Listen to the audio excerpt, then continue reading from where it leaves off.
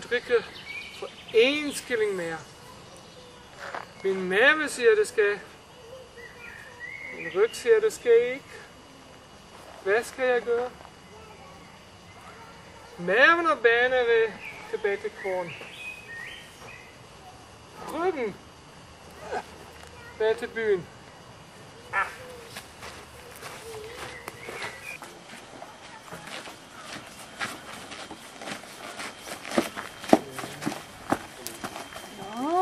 Åh, Jeppe. Er du kommet tilbage? Jeg tænkte nok, du fik for lidt. Ja, Jacob. Kan jeg have et glas te på kredit? Nej, Jeppe. Uh, hvis du betaler ikke, uh, får du ikke noget. Selv Ritter får uh, ikke få kredit. Ja, men jeg er en ærlig mand. Ingen kredit. Her har du fire skilling.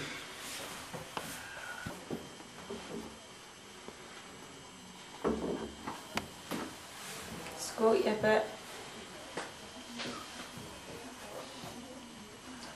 Ah, det gjorde det godt.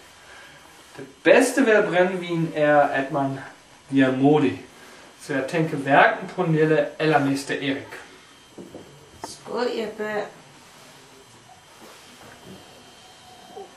Dank du, Jakob. Drik du noget til dyve. Det gør dig vel ondt. Jeg hører, du kan da snakke tysk, Jeppe. Jeg snakker kun tysk, når jeg er fuld. Ja, så snakker du da tysk mindst en gang om dagen. Ja, det er fordi jeg har været i herren, og derfor forstår jeg sprog. Du har været så det. Hvordan kan du så øh, lade din kone bestemme over dig? Et glas til, Jakob. Jeg har 8 skilling tilbage. Nej, Jeppe. Du tåler ikke at drikke mere. Du har lang vej at hund. Hund! Hvad? Slutte! Nej! Farvel, Jeppe. Lykke på rejsen.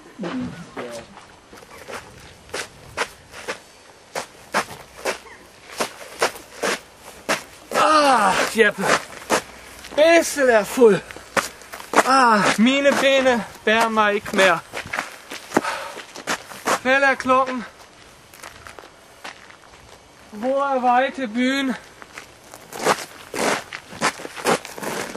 Stå still, siger jeg. Bæstet er fuld.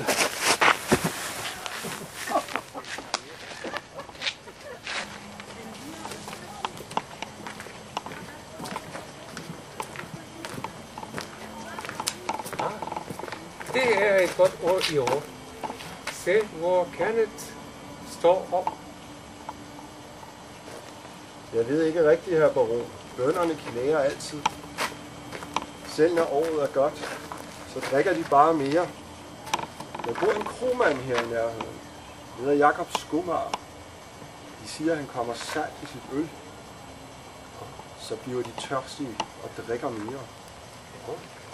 Vi må stoppe det.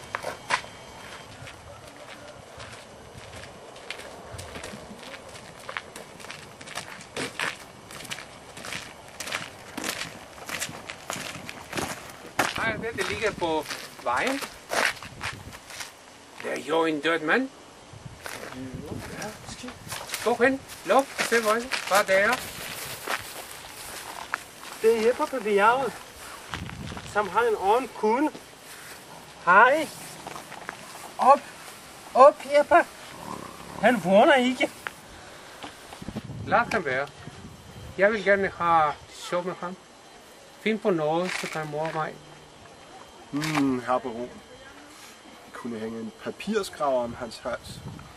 Eller klippe håret af ham.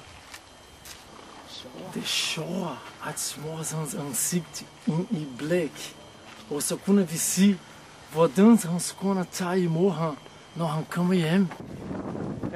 Jeg synes, vi skal tage hans tøj af og lægge han i barons tank. Sank. Når han så vågner, lænder vi sammen, om han er herren på gården. Og så vil hans tjener.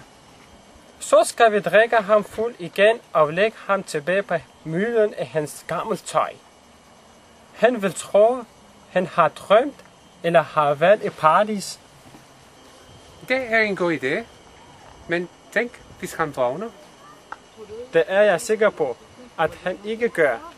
Han er den største syvsover. Du sker det, giv ham en fin øh, skjorte på, og lag ham i min bedste seng.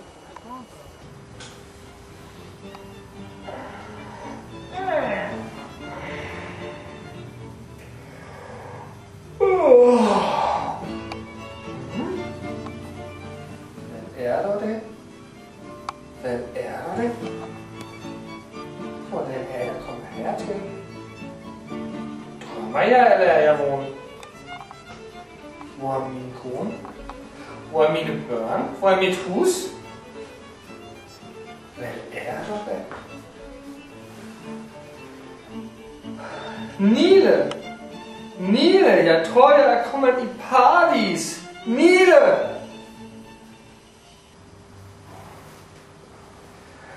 Når jeg føler min rør, så er det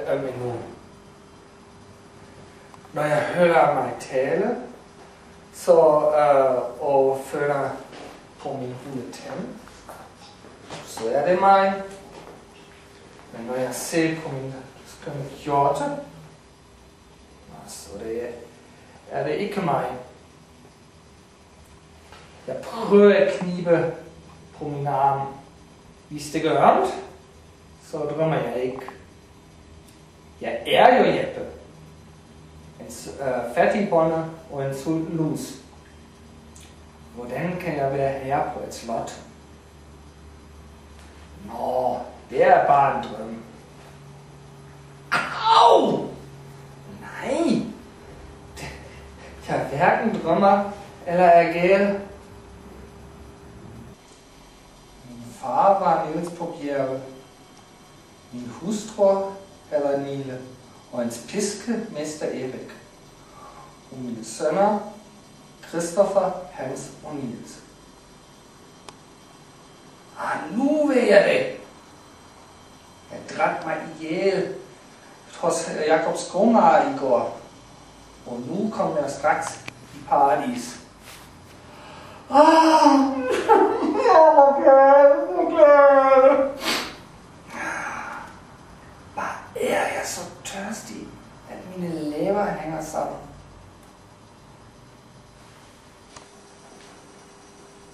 Hvad hjælper al den herlighed, hvis man dør af tørst?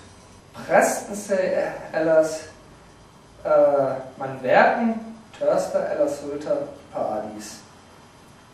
Han sagde også, at man finder sine afdøde venner i paradis. Men her er ikke nogen. Jeg drømmer ikke. Jeg er ikke vågen. Jeg er ikke død. Jeg lever ikke. Jeg er fattig. Jeg er rig. Jeg er Jeppe på bjerget. Jeg er ikke Jeppe på bjerget. Hjælp! Hjælp!